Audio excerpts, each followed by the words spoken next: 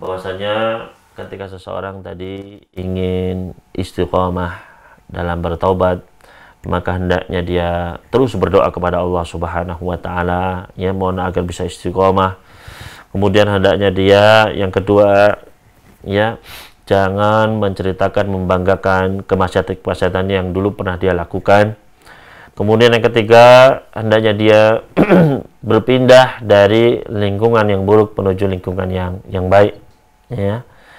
Kemudian yang keempat hendaknya dia mencari teman-teman yang soleh ya, dan meninggalkan teman-teman yang teman-teman dulu yang buruk yang membawa dia kepada kemaksiatan. Kemudian yang kelima, hendaknya dia terus memperbarui tobatnya, terus meminta tobat kepada Allah Subhanahu wa taala.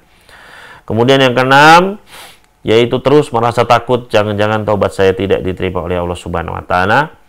Kemudian yang ketujuh, hendaknya memperbanyak amal saleh. Dan yang kedelapan yaitu terus belajar ilmu agama kepada para ulama. Ini ya eh, beberapa tips agar bisa ya menjadi taubatnya adalah taubat yang nasuh. Wallahu taala